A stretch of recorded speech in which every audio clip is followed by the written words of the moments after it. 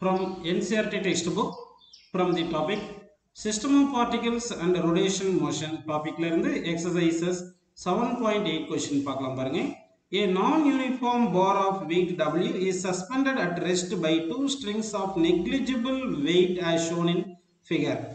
The angles made by the strings with the vertical are 36.9 degree and 53.1 degree respectively. The bar is 2 meter long. Calculate the distance d of the center of gravity of the bar from its left end. So இப்போ இங்கே என்ன பண்ணியிருக்காங்கன்னா இதுதான் ஒரு பார்னு assume பண்ணிக்கிங்க. இந்த bar வந்து non uniform mass distributed அதாவது மாஸ் வந்து யூனிஃபார்மாக டிஸ்ட்ரிபியூட் பண்ணல. அப்போ வந்து இதனுடைய சென்டர் ஆஃப் கிராவிட்டி ஒரு சர்டைன் பாயிண்ட்ல இருக்கு. இப்போ இந்த centre of gravity of this rod from left எண்ட்ல கண்டுபிடிக்கணும். அதுதான் இங்கே டின்னு எடுத்திருக்கோம். ஃப்ரம் லெஃப்ட் ஹேண்ட்லேருந்து இந்த சென்டர் ஆஃப் கிராவிட்டி இருக்கிறது டி டிஸ்டன்ஸில் இருக்குன்னு எடுத்துக்கலாம். இந்த நான் யூனிஃபார்ம் ராடுடைய லென்த் டூ மீட்டர் கொடுத்துருக்காங்க. இந்த நான் யூனிஃபார்ம் ராட் வந்து டூ ஸ்ட்ரிங்ஸில் இப்படி சஸ்பெண்ட் பண்ணியிருக்காங்க.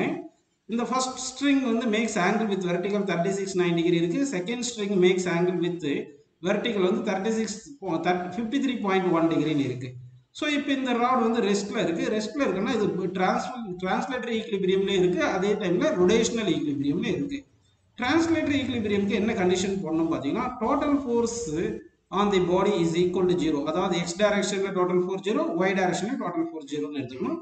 அதே மாதிரி ரொடேஷனல் ஈக்லிபிரியமில் இருக்கிறதுனால total torque equal to zero அப்படின்னு நம்ம எடுத்துக்கணும். ஓகேங்களா? இப்போ வந்து என்னென்ன ஃபோர்ஸஸ் ஆக்ட் ஆகுதுன்னு ஃபஸ்ட்டு பார்க்கலாம் பாருங்க. இந்த இந்த ராட் மேலே இந்த வெயிட் டபிள்யூ வெயிட் ஆக்ட் ஆகுது. இந்த எண்டு லெஃப்ட் எண்டு ஏன்னு எடுத்துங்க ரைட் எண்டு பின்னு எடுத்துங்க. இந்த ஏலேருந்து வெயிட் ஆக்ட் ஆகிற டிஸ்டன்ஸ் தான் டின்னு எடுத்திருக்கோம். அப்போ இந்த வெயிட் சென்டர் ஆஃப் கிராவிட்டி இருக்கு இல்லையா? இதுதான் சென்டர் ஆஃப் கிராவிட்டி ஜின்னு எடுத்துக்கலாம். இந்த சென்டர் ஆஃப் கிராவிட்டிலேருந்து பி இருக்கிற டிஸ்டன்ஸ் எவ்வளோ பார்த்தீங்கன்னா மொத்தம் டூ மீட்டர் தானப்போ அதனால் இது டூ மைனஸ் டி அப்படின்னு நம்ம எடுத்துக்கலாம்.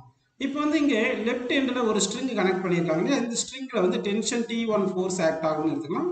இந்த right handle string act string connect பண்ணியிருக்காங்க இல்லையா? இதில் டென்ஷன் வந்து டி டூ ஆக்ட் ஆகுதுன்னு அசியூம் பண்ணிக்கலாம். ஓகேங்களா இப்போ வந்து நம்ம என்ன பண்ணலாம்னா வந்து இங்கே வந்து ஒரு வெர்டிக்கல் லைன் அப்படின்னு எடுத்துக்கலாம். அதே மாதிரி இங்கே ஒரு வெர்டிக்கல் லைன் எடுத்துக்கங்க. இந்த வெர்டிக்கல் லைன் ஆங்கிள் இங்கே எவ்வளோ பார்த்தீங்கன்னா அந்த fifty three point one degree வரும். இந்த பக்கம் தேர்ட்டி சிக்ஸ் பாயிண்ட் நைன் டிகிரின்னு வந்திருக்கும். ஓகேங்களா? இப்போ இந்த டென்ஷனை நம்ம ரிசால்வ் பண்ணலாம். ரெண்டு காம்பனண்ட்டாக ரிசால்வ் பண்ணலாம். இந்த டி ஒன்னு ரெண்டு காம்பனண்ட்டாக ரிசால்வ் பண்ணோம்னா இங்கே T one cos thirty six point nine டிகிரின்னு வரும். இது வந்து இந்த சைடில் வந்து T one sine thirty six point nine டிகிரின்னு வரும். அதே மாதிரி இந்த டி டூ டென்ஷன் வந்து ரிசால்வ் பண்ணோம்னா இந்த எக்ஸ் காம்பனண்ட் வந்து அதாவது டீட்டா இருக்கிற காம்பனண்ட் வந்து T two cos fifty three point one டிகிரின்னு வந்திருக்கும். இங்கே எக்ஸ் காம்பனண்ட் அதாவது இது T T two sine fifty three point one டிகிரின்னு வந்திருக்கும். ஸோ இப்போ நம்ம கொஞ்சம் வேல்யூஸ் எல்லாம் தெரியணும். Approximately cos fifty three point one degree எவ்வளோ அப்படின்னு பார்த்தோம்னா த்ரீ பை ஃபைவ் அதே மாதிரி cos thirty seven point thirty six thirty six point nine degree எவ்வளோன்னு பார்த்தீங்கன்னா ஃபோர் பை ஃபைவ் நெக்ஸ்ட் வந்து sine thirty six point nine degree எவ்வளோ பார்த்தீங்கன்னா approximately three by five next வந்து sine fifty three point one degree approximately four by five அப்படின்னு நம்ம எடுத்துக்கலாம். இந்த வேல்யூ எல்லாம் பண்ணணும். இப்போ வந்து ஃபஸ்ட்டு நம்ம என்ன பண்ணலாம்னா டிரான்ஸ்லேட்டர் ஈக்லிபிரியம் எடுத்துக்கலாம். டிரான்ஸ்லேஷனல் ஈக்லிபிரியம் டிரான்ஸ்லேஷனல் ஈக்லிபிரியம் எடுத்திங்கன்னா translational ஈக்லிபிரியமில் net force along x axis zero அப்படின்னு எடுத்துக்கலாம். Net force along x axis zero அப்படி எடுத்தீங்கன்னா எக்ஸ் ஆக்சஸில் லெஃப்ட் சைடில் ஆக்ட் ஆகிற ஃபோர்ஸ் வந்து T one sine thirty six thirty six point one தானேப்பா T one sine sine thirty six point one எவ்வளோ பாருங்கள் தேர்ட்டி சிக்ஸ் பாயிண்ட் நைன் வந்து த்ரீ பை ஃபைவ்னு போட்டுக்கலாம். அடுத்து மைனஸ்னு போட்டு இந்த வந்து டி டி டூ இது opposite டேரக்ஷனில் T one sine thirty six point நைனுக்கு இந்த T two sine fifty three point one ஆப்போசிட்டில் இருக்குங்கிற T two sine fifty three point ஒன்று எழுதுகிறேன் சைன் ஃபிஃப்டி த்ரீ பாயிண்ட் ஒன்று வந்து ஃபோர் பை ஃபைவ்னு வருது. ஸோ இப்படி இது ஈக்குவல் டு ஜீரோன்னு வருது. ஓகேங்களா இதில் இருந்து T one into three by five is equal to T two into four by ஃபைவ்னு வந்திருக்கு. இப்போ நம்ம என்ன பண்ணலாம்னா ஃபைவ் ஃபைவ் கேன்சல் பண்ணிடலாம். So the T one is equal to T two into four by three அப்படின்னு நமக்கு ஆன்சர் கிடச்சிருக்குப்பா சரி நெக்ஸ்ட் இதே மாதிரி வந்து என்ன பண்ணலாம்னா இது இது ஒரு ஆன்சர் கிடச்சிருக்குன்னு எடுத்துக்கலாம். நெக்ஸ்ட் என்ன பண்ணுறீங்க பாருங்கள் இது ரொடேஷனல் ஈக்லிபிரியமில் இருக்குன்னு எடுத்துக்கலாமா? ரொடேஷனல் ஈக்லிபிரியமில் இருக்குன்னு எடுத்துக்கலாம். அப்போ ரொடேஷனல் ஈக்லிபிரியமில் இருக்குன்னா எபோட் இந்த சென்டர் ஆஃப் கிராவிட்டி இந்த எபோட் சென்டர் ஆஃப் கிராவிட்டி பார்த்தீங்கன்னா இந்த T one T one cos thirty six nine point nine இருக்கு இல்லையா? T one cos thirty six point nine இருக்கு இல்லையா? இதனால வந்து கிளாக் வைஸ் மூமெண்ட் கிடைக்கும். கிளாக் வைஸ் மூமெண்ட்டு கிடைக்குது.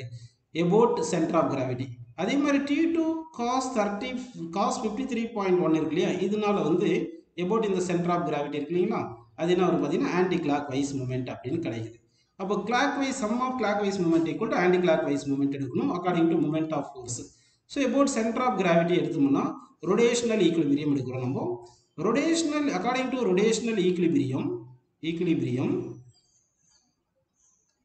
net torque equal to zero பண்ணணும். நெட் ஆர்க் என்னென்ன இருக்கு பாருங்க? T one cos thirty six point nine இருக்கு இல்லையா cos thirty six point nine எவ்வளோ four by five so four by five into இந்த பர்பண்டிகுலர் டிஸ்டன்ஸ் வந்து இந்த சென்டர் ஆஃப் டி இந்த டி டிஸ்டன்ஸ் இந்த டி ஒன் காஸ் தேர்ட்டி நைன்க்கு distance வந்து டி போட்டு தட் இஸ் ஈக்குவல் டு இந்த கிளாக் வைஸ்னால பார்த்துட்டோம். இப்போ இந்த கிளாக் வைஸ் மூமெண்ட் பார்த்துட்டோம். இப்போ ஆன்டி கிளாக் வைஸ் மூமெண்ட்னால பார்த்தீங்கன்னா இந்த T two cos fifty three point one cos fifty three one point one பார்த்தீங்கன்னா த்ரீ பை ஃபைவ் இன்ட்டு இந்த பர்பண்டிகுலர் டிஸ்டன்ஸ் டூ மைனஸ் டின்னு இருக்குது கரெக்டுங்களா இன்ட்டு டூ மைனஸ் டின்னு போட்டுக்கலாம். இப்போ இந்த வெயிட்னால இந்த வெயிட் இருக்கு இல்லையா? இந்த வெயிட்னால வந்து பர்பண்டிகுலர் டிஸ்டன்ஸ் ஜீரோ அதனால வெயிட்னால வந்து கிளாக் மூமெண்ட் கிடையாது. அதே மாதிரி இந்த T one sine thirty six point nine இருக்கு இந்த ஃபோர்ஸ்னாலையும் T two sine thirty sine fifty three point one இருக்கு இல்லையா? இந்த ஃபோர்ஸஸுக்கும் பர்பண்டிகுலர் டிஸ்டன்ஸ் கிடையாது. அதனால இந்த ஃபோர்ஸஸ்னாலலாம் மூமெண்ட் ஆஃப் ஃபோர்ஸு கிடையாது. ஸோ இப்போ வந்து நம்ம என்ன பண்ணலான்னு பாருங்கள் இந்த டி ஒன் வேல்யூ எவ்வளோ பார்த்தீங்கன்னா T two into four by த்ரீன்னு வந்திருக்கு. அப்போ இந்த டி ஒன் வேல்யூ கொண்டு வந்து இங்கே சப்ஸ்டிட் பண்ணுங்கள் சப்ஸ்டிட் பண்ணால் T two into four by three இங்கே ஆல்ரெடி நான் இந்த ஃபைவ் இந்த ஃபைவ் கேன்சல் பண்ணிடலாம். இப்போ இங்கே ஃபோர் இருக்கா? இன்ட்டு டின்னு போட்டுட்டு that is equal to T two into three into two minus T அப்படின்னு வந்திருக்கு. இது வரைக்கும் உங்களுக்கு புரிஞ்சிருக்கு. ஓகேங்களா இப்போ நம்ம என்ன பண்ணலாம்னா இந்த த்ரீயை வந்து இந்த சைடு கொண்டு வந்துடலாம். அப்படி கொண்டு வந்துட்டீங்கன்னா அப்புறமா இந்த T two T two cancel பண்ணிடலாம். இந்த four into four sixteen sixteen T is equal to இந்த த்ரீயை இந்த பக்கம் கொண்டு வந்தீங்களா three into three nine nine into two minus டின்னு போட்டுக்கலாம்.